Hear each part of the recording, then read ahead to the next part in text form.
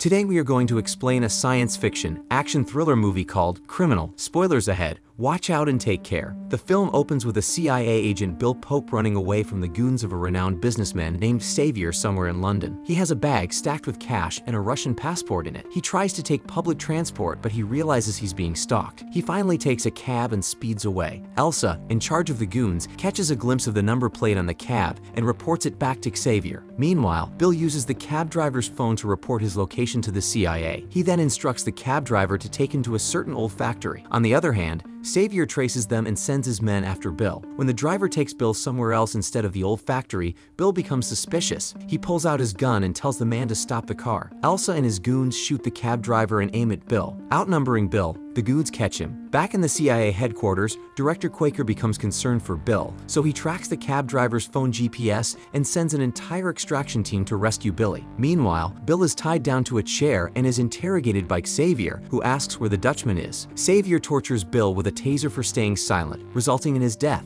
The extraction team shows up and tries to revive Bill, but he passes away. The scene then cuts to the US government sending an agent to fly Dr. Franks to their headquarters. Franks has currently developed a tool through which he can transfer memories of one living organism to another, which is currently of the CIA's interest since they are desperate to get inside Bill's memories. Though, Franks hasn't had human trials. He refuses to work with them, but the agent states that they're facing a national threat at a very high level, so his consent doesn't matter. He agrees to join them, but he demands that he needs his equipment, staff, and a recipient to whom they can transfer Bill's memories. Frank suggests a recipient who goes by the name Jericho who is currently imprisoned. The extraction team is sent to bail him out. The warden tells the team that Jericho is the type of guy who has the consciousness of a 10-year-old who doesn't acknowledge how things are felt or worked. The extraction team isn't interested in his bio data, so they get straight to the point and fly Jericho to the England port where Franks is awaiting them. They put Jericho inside the plane and take off. They ask Jericho about his head injury. He reveals that when he was 10, his father threw him out of the running car because he found out from his wife that Jericho wasn't his son. On the other hand, Xavier appears as a guest on a news broadcast where he openly addresses the treason charges put on him by the Spanish government. He reveals that his agenda is to expose the world's most powerful criminal organizations. When he's asked if he's trying to overthrow the Spanish government, he replies that he's trying to overthrow any government,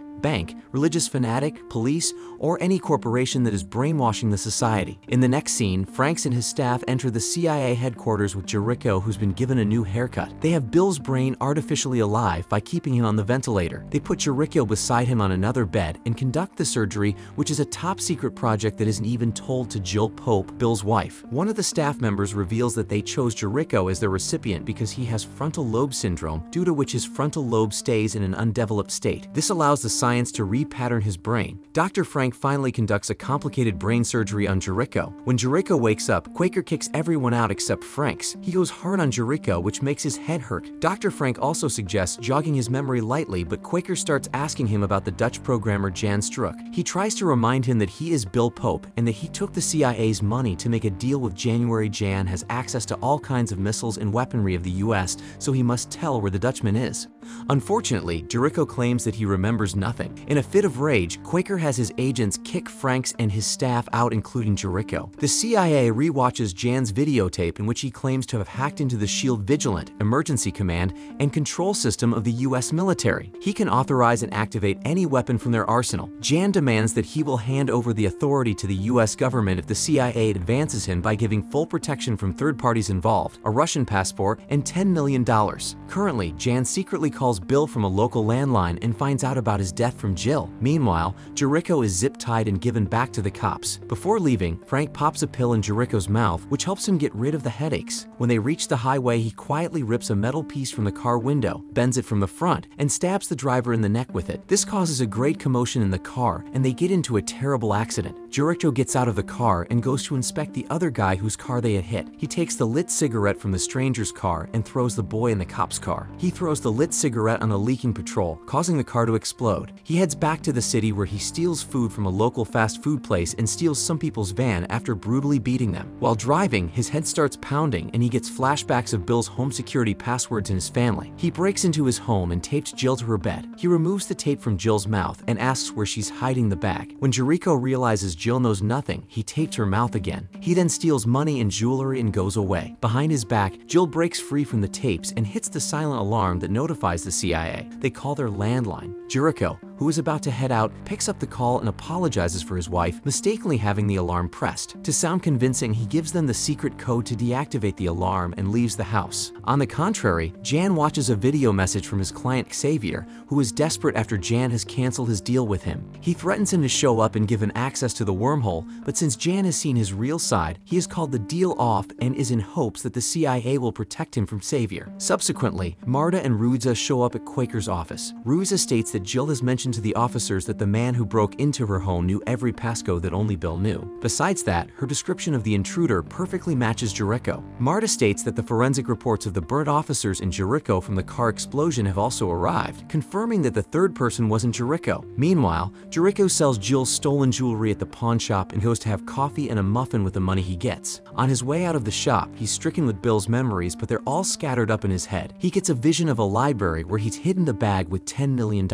He goes to the London Public Library and looks for a specific book behind which he hid the bag. Sadly, the bag isn't there. He remembers Bill's password, so he logs into Bill's ID, which alerts Quaker and his team in the CIA headquarters. They send Marta and other men to the library to interrogate and retrieve Jericho. They reach the library and get on the computer from where Jericho had logged in. They find out that he went through their phone call software and took out Dr. Frank's number. Quaker phones Franks and alerts him about Jericho. Jericho almost runs Franks over with his van. He takes him to a medical store to buy in the pills that can calm his mind. In the meantime, Xavier hacks the CIA and finds out about Jericho's location. Franks tries to hold Jericho inside the pharmacy until Ruza and Marta show up with other agents and take him back. In the pharmacy, Jericho confesses that he's not only getting disoriented memories of Bill in his head, but he has also unlocked skills and the intelligence of Bill. Back at the headquarters, Dr. Franks calls Quaker and requests to not hit Jericho in the head. He tells them that Jericho is after the money that Bill took from the CIA for January. He proposes to use this as bait and get Bill's memory to get a lead on January Quaker follows the plan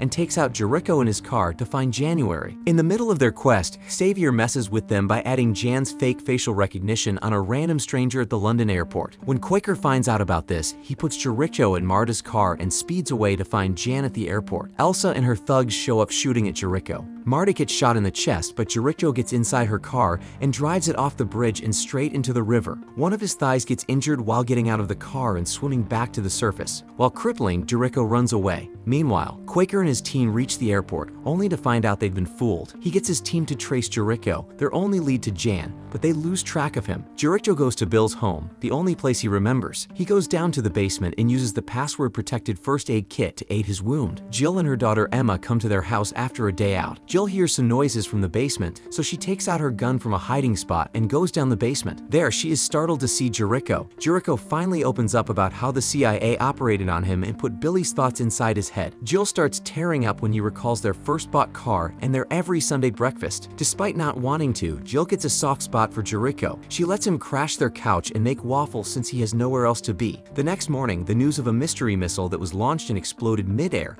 are surfaced on News Channel. Jericho remembers that this is Jan's doing. He also recalls where Bill had hidden Jan and the bag of cash. He asks Jill to give him her car and the key to her university's library where she teaches. He remembers that he had hidden the bag behind the rare books that are kept in a glass room. He goes to the university. Meanwhile, Elsa shows up threatening Jill and her daughter. Jill has no other option but to tell where Jericho has left. At the university, Jericho finally finds the bag. Sadly, Xavier and Elsa show up and ruin his moment. They manipulate Jericho by keeping Jill and Emma hostage because they know Bill's thoughts had taken over Jericho's dumb head. He takes in and Jill out and politely asks him to reveal Jan's location. On the other hand, Quaker and the CIA find out about the Russian dealer who was coming with a team to take Jan away because he has signed the deal with them now. Quaker takes the chopper while the rest of the team goes into hiding mode. They follow the Russian truck which leads them to Jan's location. On the contrary, Jericho reveals that he had stashed Jan in Jill's office at the university. Xavier and his people take Jericho and Jill with them, but due to seeing the CIA having a shoot-off with the Russians,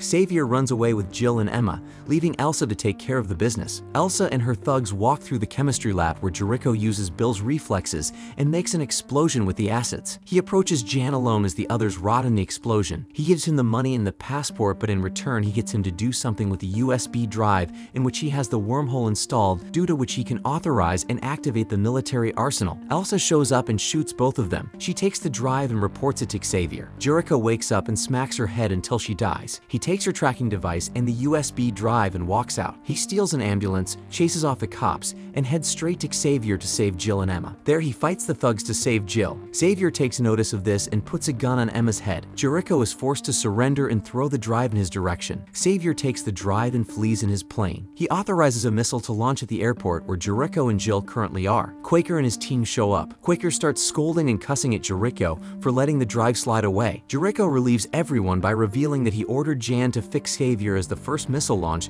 no matter where the missile launches. His statement turns out to be true when the missile comes in Xavier's plane's direction. The film ends with the CIA uniting Jericho with Jill and Emma. Upon observing his behavior with his family, Quaker finds Jericho a perfect fit and plans on giving him an official job at the CIA. Subscribe to see more videos like this, turn on notifications, and leave a like to help the channel out. Thank you for watching.